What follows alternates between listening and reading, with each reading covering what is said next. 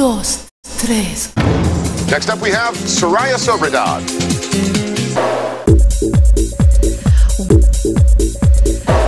Finding that with the weight loss, I got in touch with a feminine side. I started letting that side be visible back in 2008 on an entertainment level. I used that persona with some dance music tracks that I produced, and then I started doing a cooking show. I've been experimenting with this female persona and then finding out that I actually like that, and it seems like it's really me. So there's some gender dysphoria dysphoria because the more that I started experimenting with that feminine side, the less I was having sex with men as a gay man. I'm having a hard time. I'm not a gay man.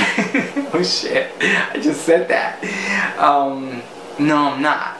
It doesn't fit meeting men as a man and then pursuing a relationship and getting sexual because then there's this feminine side that's become pretty important. I love that side of me so when I started exploring it, there was some makeup tricks that I did to like make my face look feminine. Then I decided that I wanted to actually have uh, facial surgery. So I had a facelift and I had a brow lift and I had my lower eyelids done and I had a neck lift done almost a year ago. So I am planning to get a revision because I want my face tighter. I wanted to start lending over to how it looks when I feminize my face with face taping, which I kind of suggest if you are questioning gender identity, face taping really allows for you to feminize your face pretty nicely. I really love when I dress up. I love the persona, I love the way I look. There's something that happens that feels very authentic and true, you know? I'm gonna get more of the brow lift to open up my eyes more and I'm getting fat grafting on my cheeks to fill them up. Maybe my gender dysphoria comes from the fact that I have gynecomastia which I use really well when I dress up because the flesh on my chest and a bra looks really good actually. And for a long time I, I wanted to have the gynecomastia addressed. And now I'm not sure if I do. And I'm planning in the next five months to have a total body lift I want my upper body and I want my lower body done.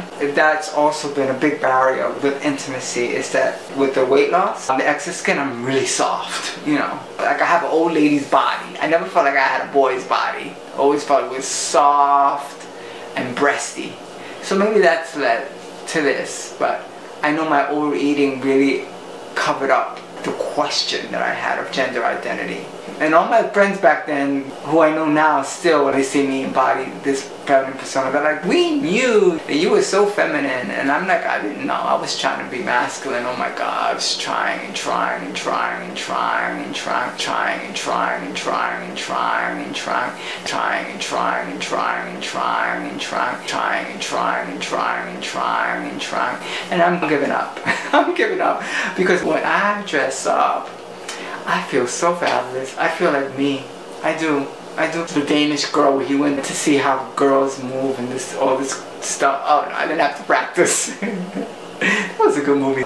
You saw how he was like on top as an artist and then when he got in touch with his feminine he that question was so profound and having a process from being male, identifying male to now wanting to be a woman. He wanted to be a woman how that like he stopped painting. It was sad. It, she plummeted. And I know for me, like my career too has gone through big dip. I don't want to identify anymore as a guy. I'm taking some really big steps. I'm doing laser on my face to remove the hair.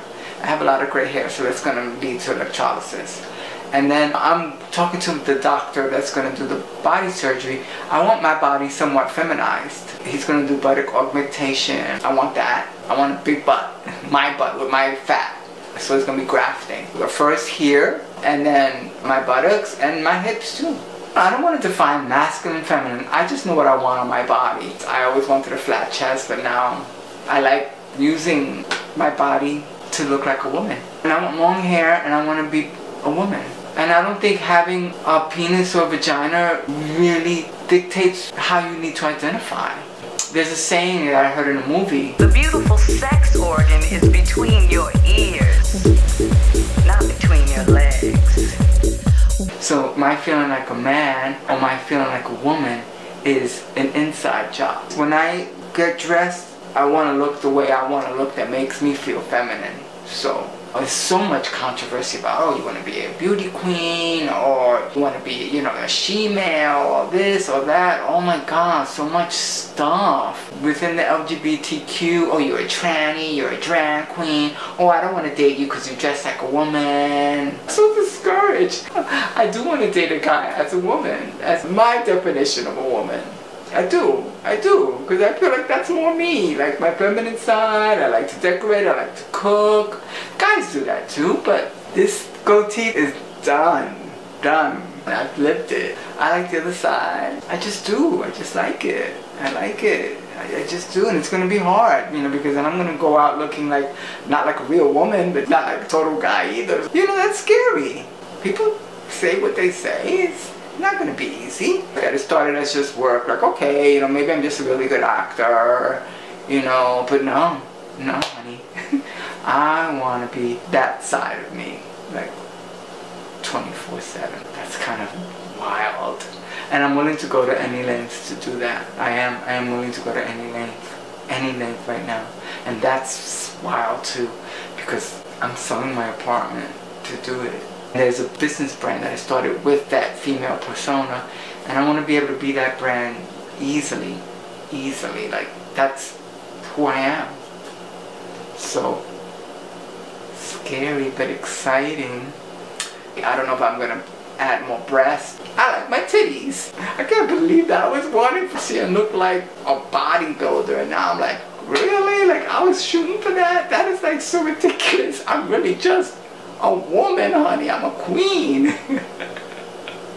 and I have a very wide chromosome range because it's actually like two entities, but I want to make them one. It's time to be one fabulous person instead of trying to be two. It's exhausting. It's exhausting and it's not my bag anymore. I mean, you know, you only live once. To thine self be true. Beauty is in the eye of the beholder and free yourself to become yourself. So, The beautiful sex organ is between your ears, not between your legs.